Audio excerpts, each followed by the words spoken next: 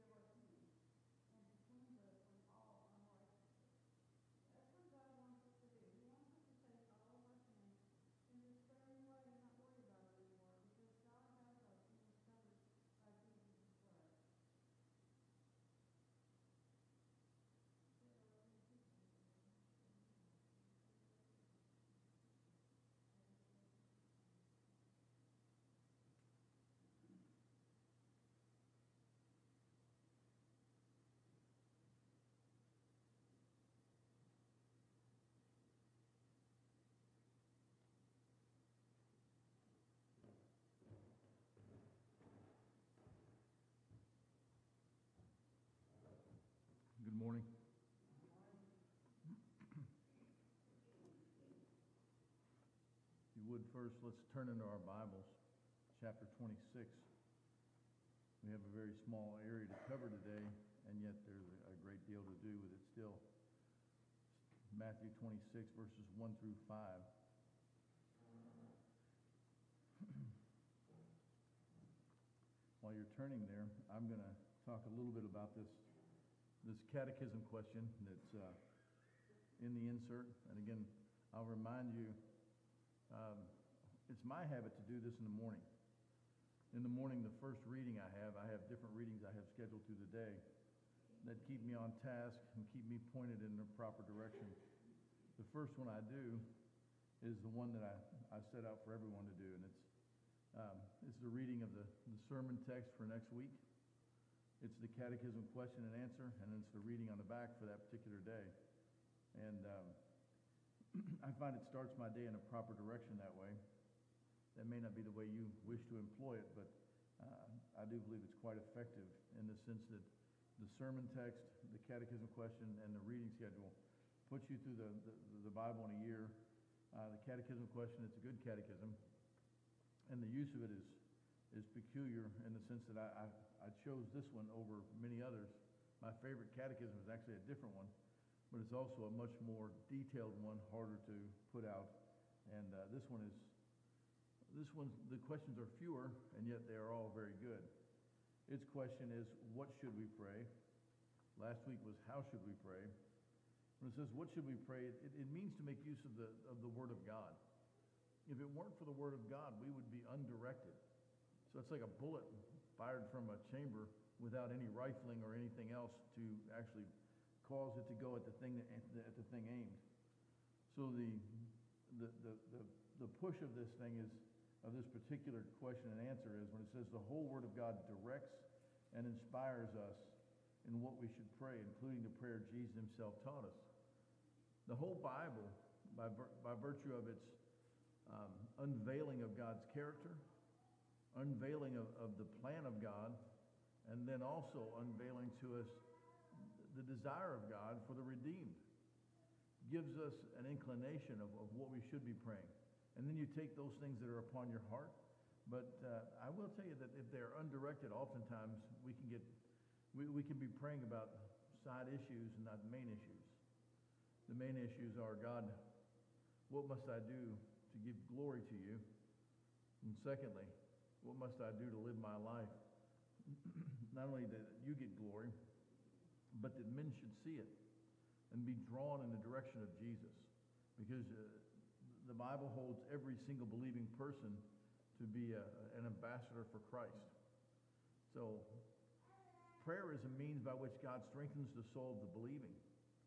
Uh, so when it says, what should we pray? It, it says the whole Word of God. And then, then it, it mentions, it says, directs and inspires us in what we should pray including the prayer Jesus himself taught us. So the more word that is pressed into your soul by reading, teaching, preaching, whatever else, whatever means we can get, the more informed will be your prayers. And also, I believe the more effective they will be because we'll begin by knowing the will of God, we'll be able to pray according to that will. Because whenever we pray according to something that's not God's will, we can often find that well, that's a prayer God can't answer in the affirmative. So, our catechism question what should we pray? It assumes we will. Um, and I've told you, maybe some, some, of you, the best time is not early. Um, I carried around a weight with me for years because I heard pastors tell me, well, if you don't come to him early, you probably shouldn't come to him at all. And I was, I was baffled by that. And I made sure I was up early long enough to pray. And um, found that I was actually effective just a little bit later than that. Uh, so I, I, believe that to have been a great mistake. The, the, the point is when we pray. And that's actually the language the Bible uses. When you pray, say. So it doesn't mean a specific time. It doesn't mean that if you get up before the sun, God is going to hear your prayers because there are fewer people. Don't think that. Uh, if all, the, all of humanity was to pray at one time, God could actually hear every single one of those and not be, um, not be befuddled in any way. So let me encourage you first to pray, and secondly to do so according to the scriptures. Now, if you would, let's, let's look at our statement of Christology. And we're going to read this together as a form of worship. We're going, to be confessing the nature that Christ has as revealed by the Scriptures. And uh, that's actually quite a feat because there are many people today trying to reformulate who Christ is. They want to reformulate. Well, I, like to have Jesus like this. Well, the problem is, is you and I are not at liberty to simply morph Jesus into a Jesus that's most comfortable to us, to change something about him that is fixed. So if you would, read with me as we, we uh, read this statement of Christology. We confess the mystery and wonder of God made flesh and rejoice in our great salvation through Jesus Christ our Lord. With the Father and the Holy Spirit, the Son created all things, sustains all things, and makes all things new Truly God, he became truly man. Two natures in one person. He was born of the Virgin Mary and lived among us. Crucified, dead, and buried. He rose on the third day, ascended to heaven, and will come again in glory and judgment. For us he kept the law, atoned for sin, and satisfied God's wrath. He took our filthy rags and gave us his righteous robe. He is our prophet, priest, and king, building his church interceding for us, and reigning over all things. Jesus Christ is Lord. We praise his holy name forever. Amen. And again, thank you for reading that with me. So please find your place in the scriptures, whether that be electronically or paper, whatever that is. Uh, we're going to look there at the beginning of Matthew's Gospel in, in chapter 26, uh, just those first five verses. Uh, it's not a long text to read, but it is absolutely a, a pregnant passage. And, and we find here, in fact, I, I find that I need to get us ready to, to embrace these five, these five verses. We need to kind of catch up to speed. The ministry of Christ, his earthly ministry, has been enacted amongst the people of Jerusalem, Galilee, and other places, and he's been teaching openly. And he's also been openly saying, and increasingly so, I must go to Jerusalem to be murdered and then to rise. And he says it with such frequency. In fact, the frequency is picking up at this point. The reason it's picking up is because the time uh, that is sovereignly appointed for him to, to be sacrificed, to be laid in a tomb dead, and then to rise from that tomb and then minister amongst those, those saints that, that he sees post resurrection, and then to ascend to the right hand of the Father. All those things are getting ready to happen. So, with greater frequency, Jesus is getting them ready. And yet, this, at this point, he's going to state it one more time. This is the point of my coming. The point of my coming is that I should live perfectly. But if only that, then you would have had no atoning sacrifice. If Jesus simply came and lived perfectly, he and the Father and the Holy Spirit could have this wonderful fellowship, and there would be no place for you and me. If Jesus does not die on the cross, there is no atoning work for you. And if there is no atoning work for you, there is no setting aside of the wrath of God that is pointed at every single sinner. And all men are sinners apart from Christ. So if Jesus doesn't die, then you and I cannot live everlastingly. So the, the importance of the cross, the reason why the, the central symbol of Christianity is the cross of Christ is because on there, on that one cross,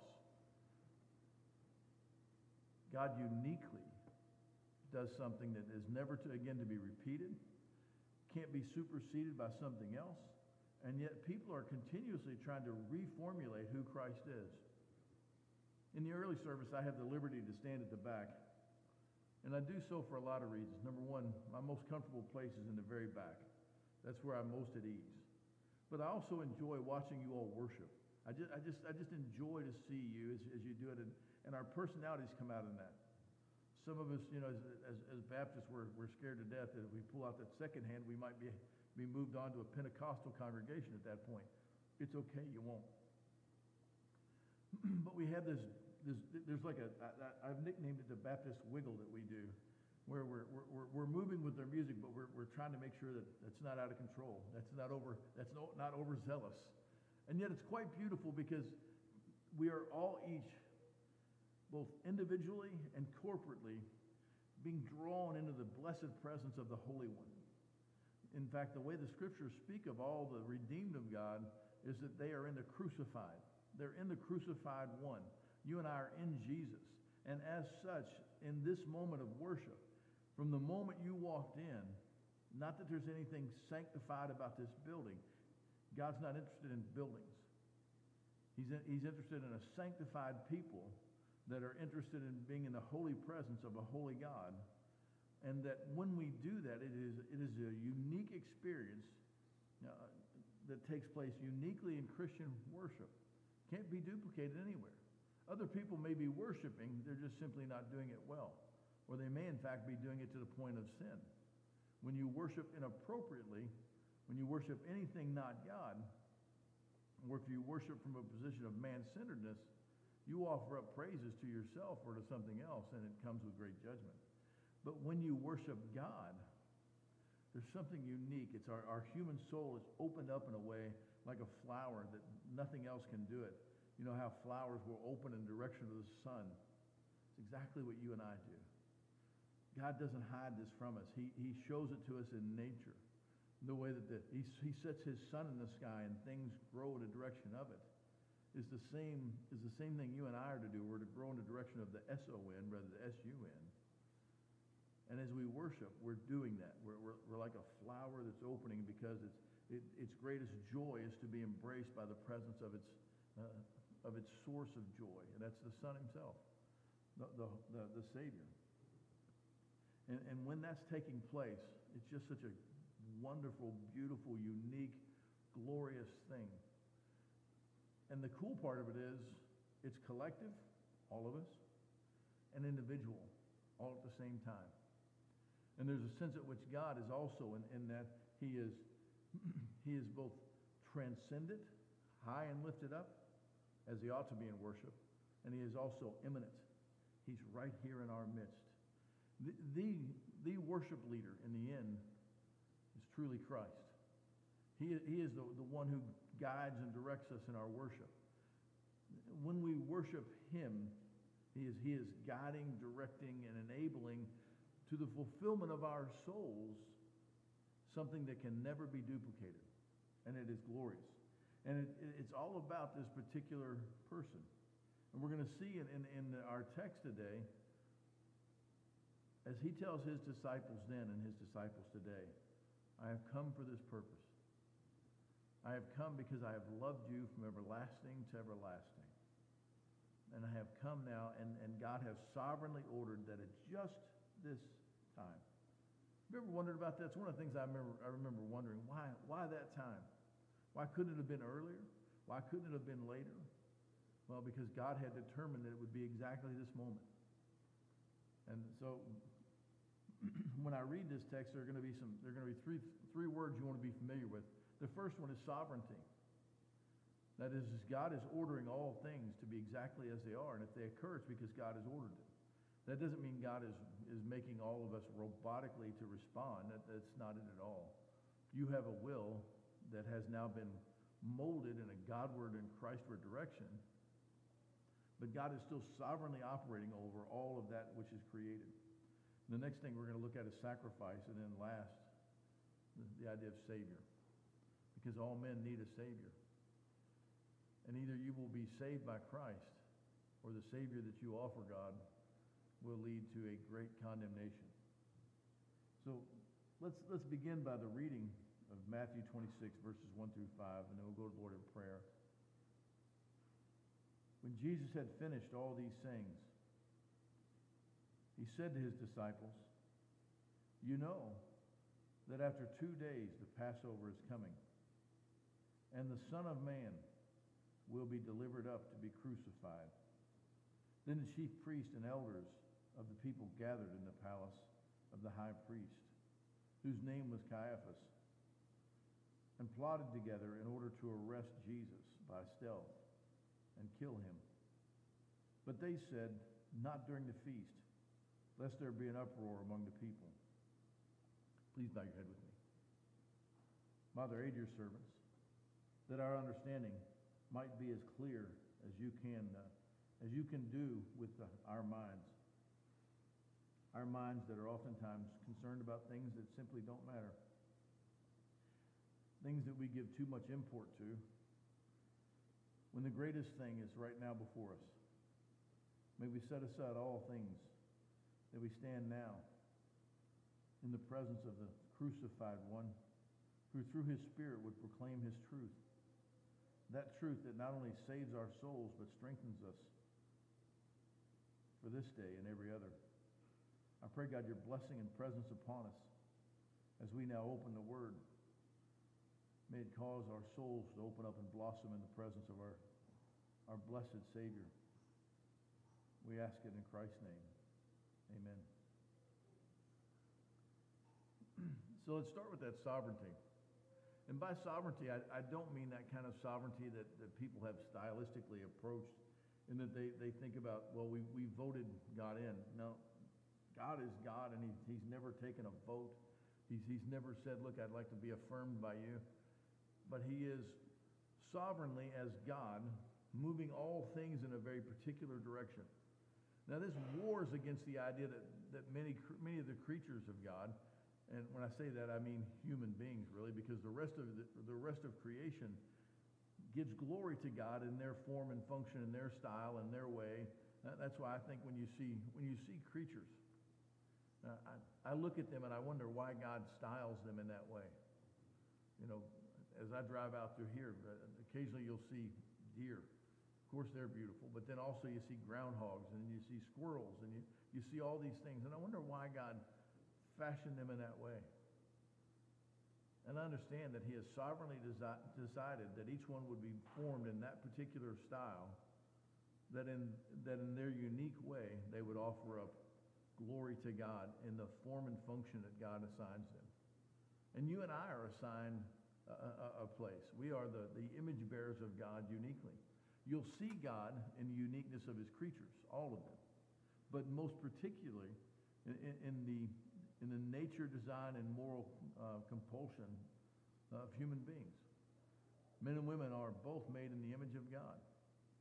And we are made in that image that we might reflect it back to him to show his not only his glory, but also to strengthen one another by the things we see that, that, that's why man is such a, a, a strange creature. We are capable of the greatest good and the greatest evil. And the same person can do them both. But God is sovereignly moving time and all other things in a direction that he has chosen. There are some that would look at Jesus and they, if you read these commentaries, it's really, you have to be very careful. As your pastor, there, there are commentaries I could suggest to you. In other commentaries, I would suggest you either throw them away, burn them, or at least never bother to read them because they simply are awful. Now, I have to admit, I purposely read commentaries that I would never want you to because as, as your pastor, I got to be, I've got to engage with people that simply don't believe the Bible and then try to figure out how they got there and then figure out why that can't possibly be the case. And there were some that would look at Jesus and say, well, this was a this was a prophet who came and, and he, he meant to bring uh, the kingdom of, of heaven or the kingdom of God to Israel, but he failed. And, and then when that failed, he thought, well, maybe, maybe by dying on the cross I can do something. There's no room for that in the Bible. It, it, it is prophesied throughout the whole of the Old Testament that Christ would come and die and that his death wasn't just an accidental thing, but it's the very plan of God. That, that and according to the New Testament, as it's looking through the lens of the Old Testament, it, it, it says that Christ was crucified before the foundation of the world. So before God said, let there be light, within the divine counsel of the Trinity, Father, Son, and Holy Spirit, there had been a determination that, that the Son would put on humanity at a certain point and at that point, that, that, that, he would tabernacle amongst us, and that's really the way the, the, the, original language puts it, is he would, he would essentially pitch his tent amongst ours. And then at, a, at the perfect time, he would suffer death. And that that death would be ordered by God himself, and yet that the sinful hands of men will accomplish it. And it's an amazing thing. One of the hardest things for us to figure is, is to is that intersection that, that, that so baffles and befuddles us. How can God be sovereign and I still have a will that's actually not being programmed into me? If you, if you look at many of the, the theories about how man is, how man got here, all that stuff, they really are fatalistic systems. The, the, the, the Darwinian approach is that you fatalistically are just a, a cosmic accident and you're just a result of things bouncing about chemically inside your head. And, and because of that, you can't help but, but think the way you do because those particular things are bouncing about inside your skull and you're no, you're no more than that. And there are, other, there are religious systems that are, that are fatalistic. When I say fatalistic and deterministic, I mean that they, they don't understand God's sovereignty, neither do they understand the will of man, and that how these two things that, that come together in the way that they do. And, and here we're helped by Spurgeon. Somebody asked him one time, How do you reconcile God's sovereignty and the will of man? And he he, in a very Spurgeonist way, said, Well, you don't have to reconcile friends. And he's right. You don't have to understand exactly how the, the sovereign will of God is coming together and, and how the will of man is, is weaving in there so that it, it accomplishes exactly what men intend on their end, and yet are, it's bringing about exactly what God intends on his end. It's called confluence or congruence. Doesn't matter what you call it. It, it, it's, a, it's a bit of a difficult thing for us to understand. But, but that's where you and I need to confess that as creatures, we simply can't always grasp everything that God does. We are, because of his grace and that he gives us the Bible, we can understand much of what he does because he lays it down in words that you and I can't understand. So when there are, some, there are some that approach and say, well, God is unknowable. Well, they're right in one sense. It, it's like trying to grab the world and, and grabbing your arms going, well, if I could just get my arms around it. Well, the world is simply a dot compared to who God is. Because you can't get your arms completely around it doesn't mean you can't know something about it, right? God has, through his Spirit, revealed to us in his Word who he is, what he is, what he's doing, and now his expectations of you and me. And that's enough. Yes, we all struggle sometimes at, I wish I knew a bit more. And I have to admit, maybe you're not vexed by, by that as much as I am. And, and great for you. I wish it were so for me. I'm vexed. I keep thinking that, that the Lord's going to open up just a, a bit more. And when I finally get past this thing, and it just turns out that I, I love the pursuit of the things of God, and, and He does continue to open things up to me as I, as I pursue those things. And, and I love that pursuit. But in that pursuit, what I find is a God of sovereignty that when he works all things together according to his sovereign will and his goodness, does all things to his glory and for our good in a way that I don't have to perfectly grasp. I just have to know it's in place. These men sought to kill Jesus from the very beginning. The, the king sets out to kill every child two years and under in hopes that he could kill this Messiah because he's afraid that he has designs on his throne and he will not be thwarted by anyone. So he murders every male child. Two, Herod murders every male child two years and under. And yet he misses Jesus because they, they are removed from that and then they come back later. And yet, even in his earthly ministry, men sought to kill him continuously. And, and there's the, the, these strange texts where Jesus, they, they were going to try to drive him off a hill and they decided to kill him. And, and, and instead, he just passes through. And the Bible explains it in a very kind of curt way. I'm going, just, just five more words, ten more words. You could have really filled that in. And it's like, nope, this is all you need. He passes through their midst. Exactly how did he do that? How is it that these men with designs on it so much so that they drove him up and then he just simply passes through because his time was not? Because God's sovereignty is in place. he can't die until the appointed time. You do understand that's true of you as well. You and I may live forever in the sense that we live, you know, another hundred years, or we, or we may not make it home this afternoon. But at, at that point that God is determined to gather you to himself, which is a blessed way. It, it, it's the way that you would take your children and you, and you pick them up and you carried them and you, you laid them in their beds when they slept that kind of sleep that as old men we look at and go, wow, that, now that's sleeping. You know, and, and Ecclesiastes actually speaks about us, old guys, when the grinders are few.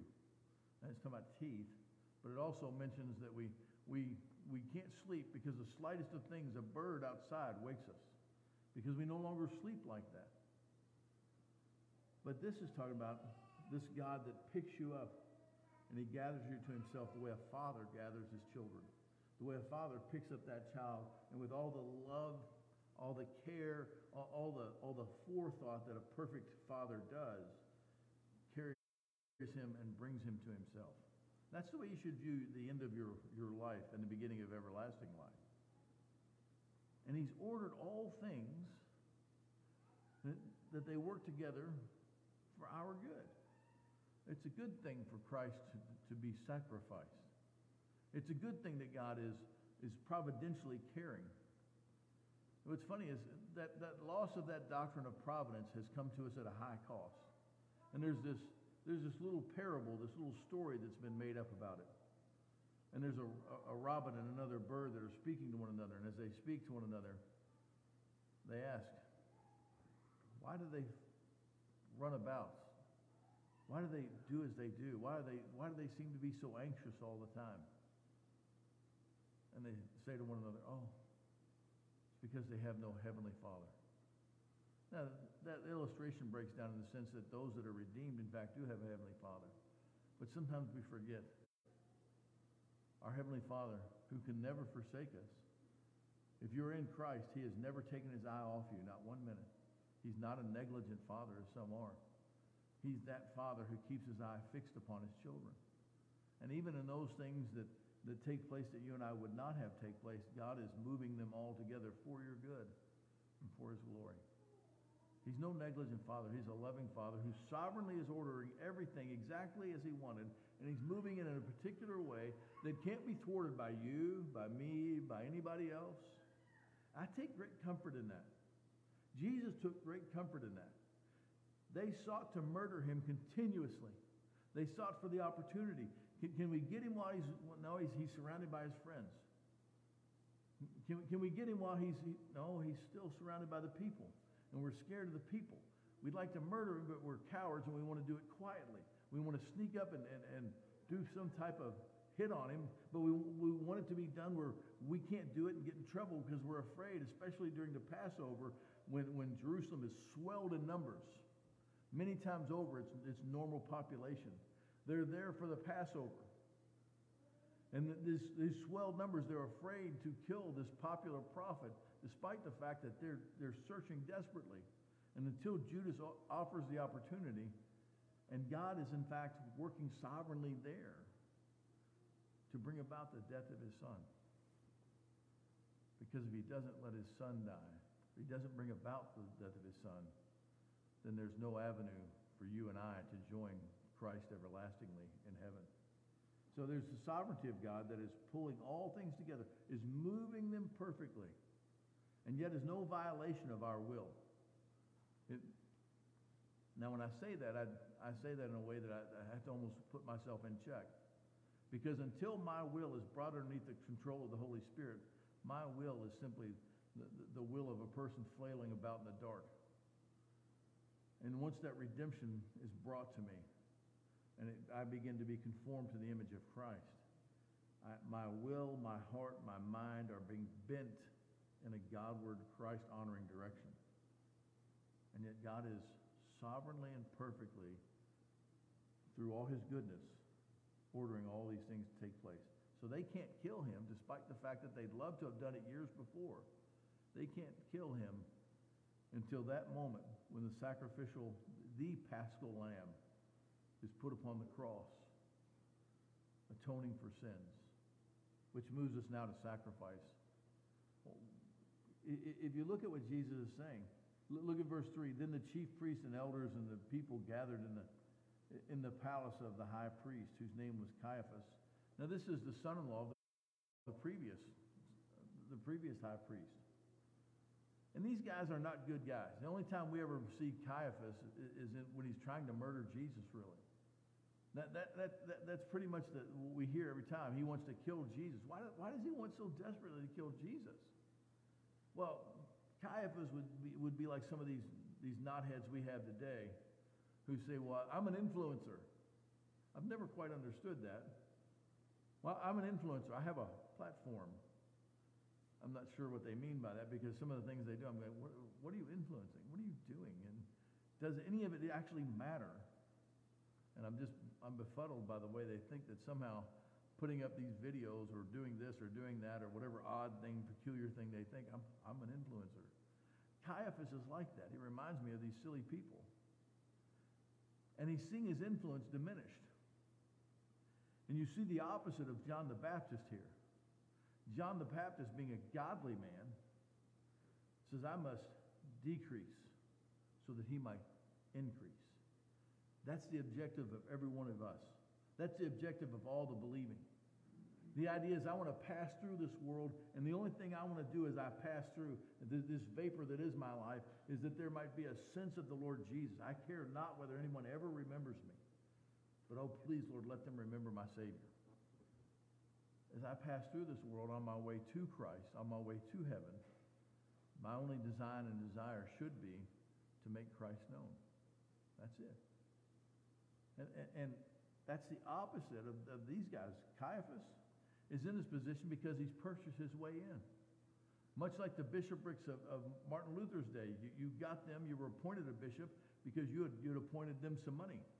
And you appoint them some money, and somebody from a, a, a bogus church says, Well, now you're a bishop. The word bishop is used in the New Testament, but it's only in reference to pastors. It, it, it's not some other reference. That, that may have, and then there's some denominations that have bishops and rightly in their form of polity. Uh, in our form of polity, we only, the, the, the bishops, the pastors, it's the same thing, understood the same way.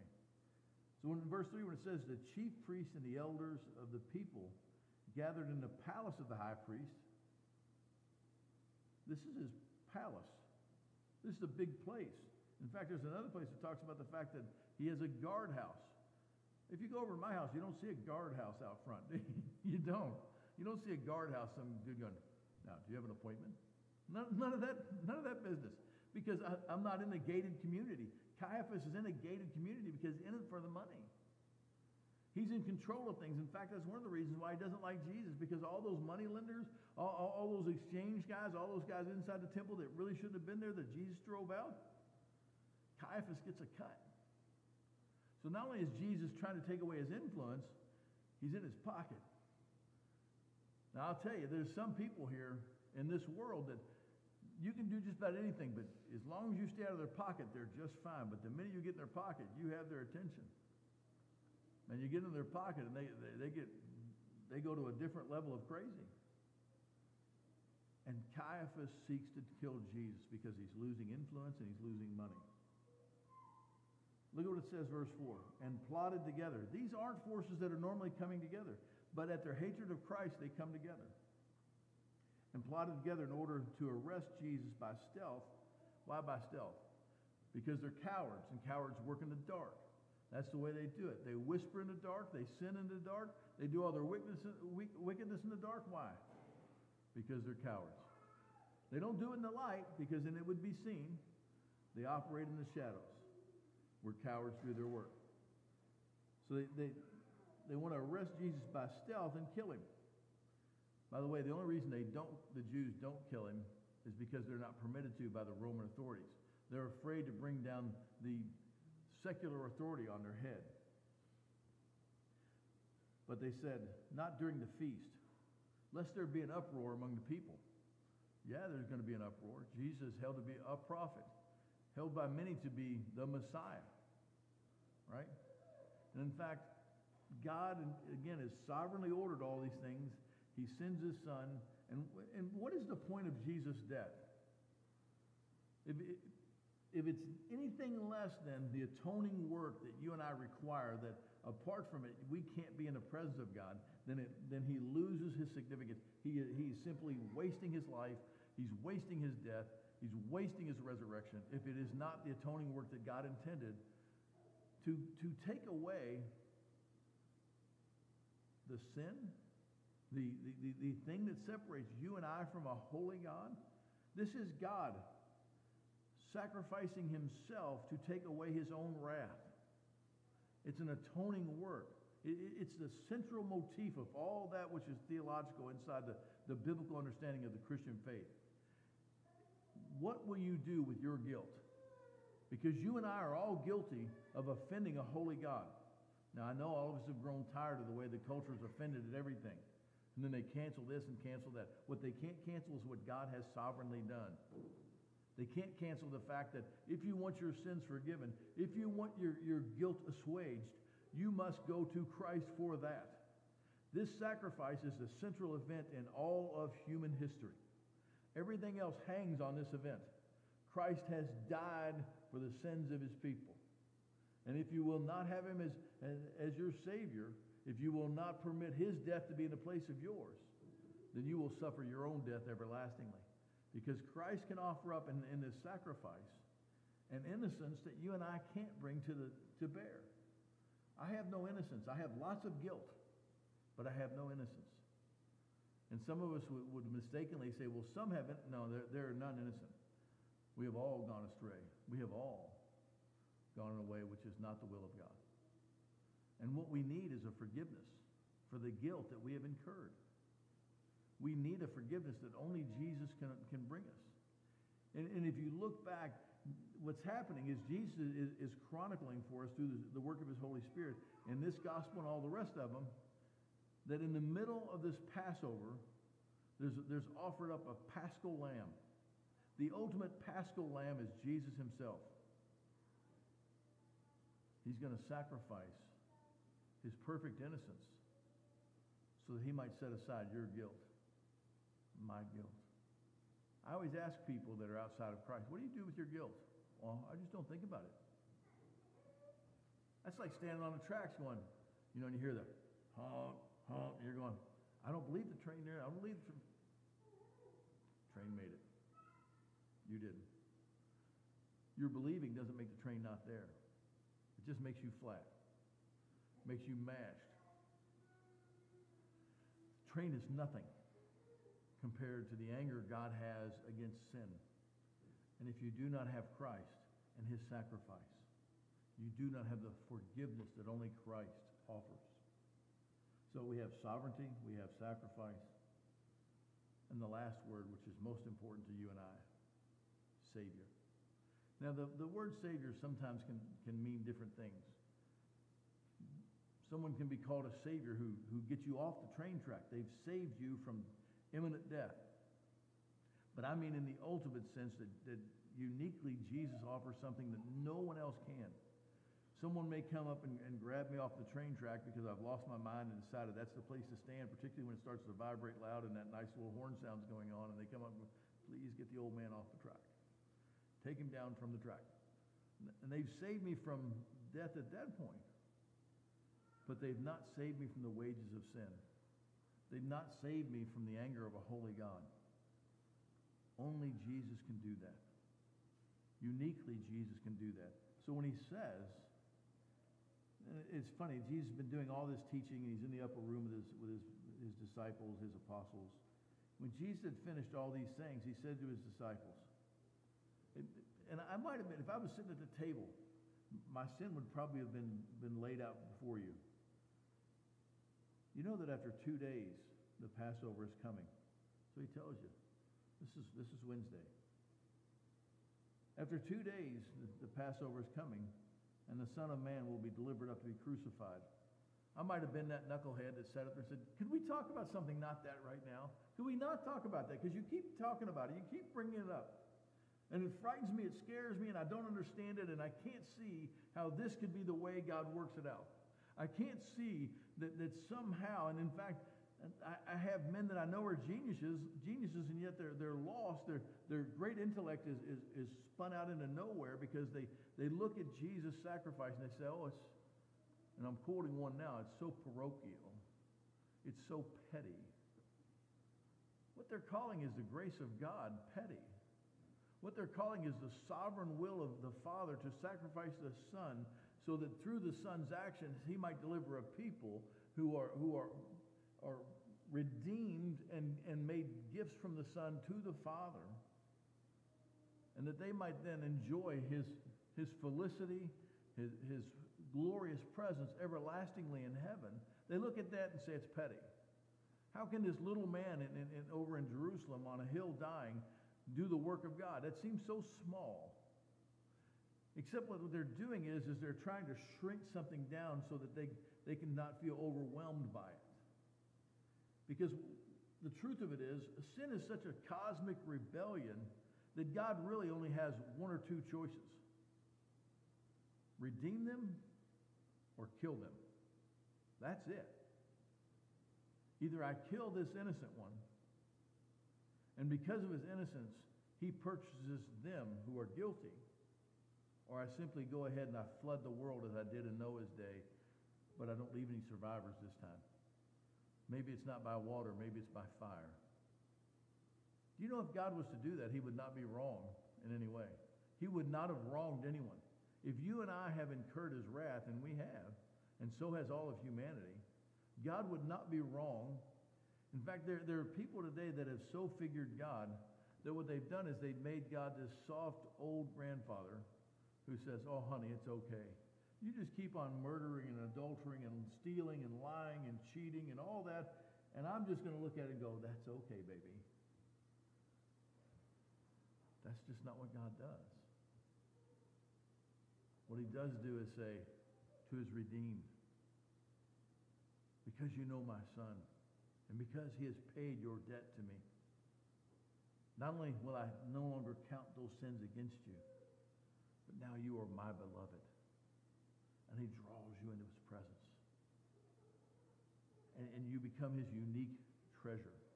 The, I always wondered where that phrase came from in the scriptures. When I read it, I had to, I had to read it more than once as I tried to make it under, tried to understand the words, uh, to, to be the apple of his eye.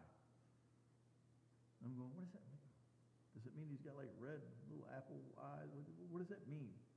Because I'm a word guy, and I, and I remember as a kid, why, why does he say the apple of his eye?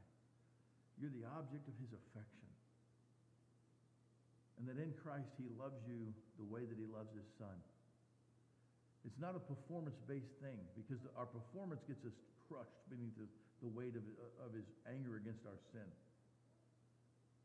But his grace and his mercy that you and I receive in Christ, that object that should have been the object of his wrath is now the peculiar object of his love. And every bit of love God has, and the scripture says God is love, it says that because you can never truly know love unless you know God and you know the love that God offers. And that he offers it to the redeemed in such a way that he, he pulls them up, each one. This one's mine. Not only have I made it, him or her, I have, I have redeemed them. They are mine, and I have redeemed them out of my love for them. That's what's very central. See, we need for God to be sovereign. We need a sacrifice, and we need a Savior, and his name is Jesus. And Jesus here is talking about this stuff and, and, and the amazing part is how, how Luke picks it up in the book of Acts. You, with sinful, wicked hands, have killed the Lord of glory. But the Father, and it, it, it's strange, that strange, that odd confluence of things. The Father who loves you has killed his Son, who is the Lamb of God, because by his blood you are purified, by his forgiveness you are made children of the Most High. See, we need a Savior. Not just from the, not just from the, the immediate action that could cause us harm. We need a Savior because God is holy. And you and I, by our, by our natural man, are not. And we have no business in the presence of God. And yet, at the moment of your belief, you are made the child of God and destined to everlastingly spend all of eternity in the presence of a God who makes you and, beco- and finds a peculiar joy in you. Not just all of us, it is all of us collectively, but also in a way that's not sinful, not the way of, uh, the way of Jacob, the way he loved one son more than the other. He loves us all, and he loves us in Christ. Loves us perfectly. Loves us with all that he has, right? He has that agape love, which is a sacrificial form of love, which gives no thought to itself, but instead looks at its object of, of desire and love and says, This is mine. I love this child. I love him. I love her. And I would kill my own, my only begotten, to gain them. And he did. Apart from that, there's no hope for me and you. But because of that, that is yours. That is mine.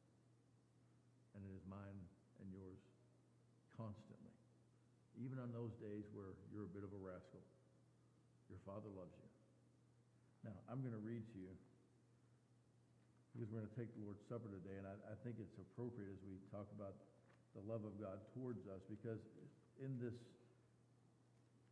in this Lord's Supper, we rehearse the forgiveness of God and the redemption of God and the coming of Christ